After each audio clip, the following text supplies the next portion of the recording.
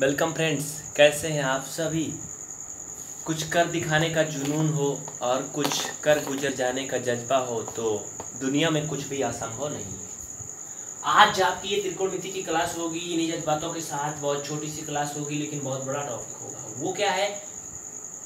यदि sine equal to upon three तो शेष दो अनुपातों का मान ज्ञात कीजिए। अनुपात का मतलब त्रिकोणमितीय अनुपात छह होते हैं। मुख्य तीन होते हैं साइन का स्टैन और इनके विरोधी पार्टियाँ जो होती हैं, वो क्या होते हैं? साइन का कॉसेक कॉस का सेक और टेन का कॉट तो कुल मिला के छः होते हैं, जिसमें दो की बात बोल रहा है, यानी मुख्य मुख्य तीनों का निकालना है। साइन इक्वल दो बटा तीन मतलब ये कोण को डिनोट करता है। आप लोग जानते होंगे, बचपन में पढ़ा होगा, जब छोटे थे तो अब तो बुढ़ापे में आ चुके हैं, लाल बटा कक्का। लाल बटा कक्का आपने पढ़ा होगा, लंब बटा कर्ण, आधार बटा कर्ण और लंब बटा आधार। जहाँ यल बराबर लंब, के बराबर कर्ण, ए बराबर आधार। तो कहने का मतलब ये है, लंब बटे कर्ण दिया गया है, जो कि त्रिभुज पर अप्लाई होगा तो आप एक त्रिभुज बना लो चुपके से। ये बन गया। साइन ए बराबर यानी कोण ए बता रहा है तो भाई कोण आप लोग क्या बनाओगे? कोण हमने ए यहाँ बना लिया। लंब बटे कर्ण दिया है। साइन का सूत्र होता है ना, लंब बटे कर्ण, यल बटा के तो लंब दो और कर्ण का दिया है तीन। कहा क्या है? लिख लो पहले तो बताता हूँ क्या कहा है। अन्य दो अनुपातों को ज्ञात कीजिए मतलब आपको कहने का ये है इसका कि कॉस ए और टेन ए को भी निकालना है। तो भाई सिंपल सी बात है, आप पहले इधर सूत्र लिख लीजिए। कॉस ए बराबर क्या होगा, ये आपको याद होना चाहिए। लाल बटा कक्का से ये हो जाएगा आधार बटा कर्ण।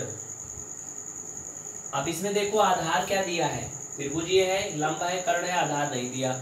अब लफड़ा फंस गया, आधार है नहीं तो आओ कैसे कैसे आएगा?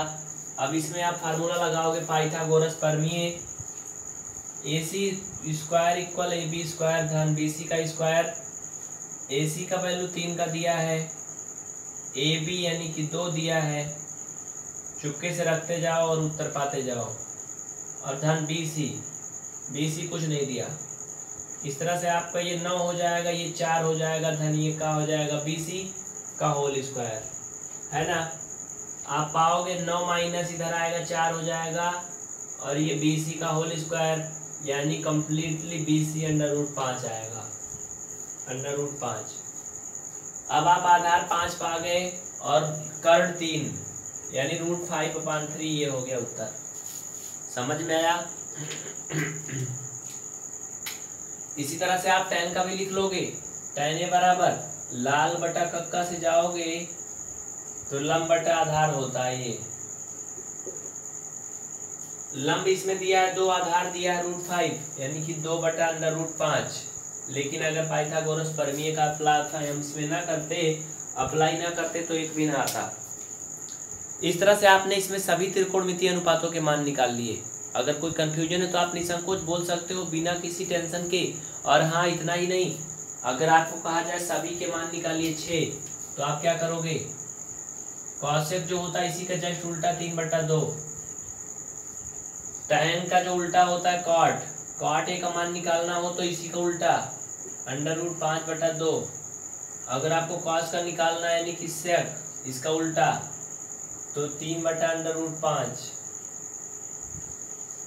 यानी कुल मिलाकर के आपने छह त्रिकोणमितीय अनुपातों के मान देख लिए मात्र पाँच मिनट से कम का वीडियो में, चार मिनट में। है ना, कितनी मज़ेदार वीडियो ये। तो इसको अपने दोस्तों में शेयर करके जाइएगा, सब्र बना करके रखिएगा, इंतज़ार करिएगा एतबार करिएगा, और हम फिर से लौटेंगे आपके उन्हीं टॉपिक के साथ। चाहे आप डीएलएड के थर्ड सेमेस्टर में हो फ़र्स्ट सेमेस्टर में हो सेकेंड फोर किसी भी सेमेस्टर में है, गणित कंप्लीट करवाना और आपके 25 में से 25 नंबर लाना, ये हमारी ज़िम्मेदारी है। बस आप लोग क्लास को देखते रहिएगा, छोड़ के मत जाइएगा, दोस्तों को जोड़िएगा और बने रहिएगा। आज की इस छोटी सी क्लास में बस इतना ही, फिर से इंतज़ार करिएगा अगली क्लास का और YouTube पर पीवीआर स्टडी की प्लेलिस्ट में आप देखेंगे 2000 लगभग क्लासें हो चुकी हैं, उन्हें आप लोग रिवीजन करते रहे, निरंतर अध्ययन करते रहे। कमेंट करके बताएँ आपके सुझाव क्या है, आपकी सलाह क्या है, हम उसे अवश्य सुनेंगे। आप हमसे नहीं, हम आपसे बहुत बहुत शुक्रिया। जय हिंद, जय भारत। अगली क्लास के लिए इंतज़ार करिएगा, लौट कर आइएगा। भाग के मत जाइएगा।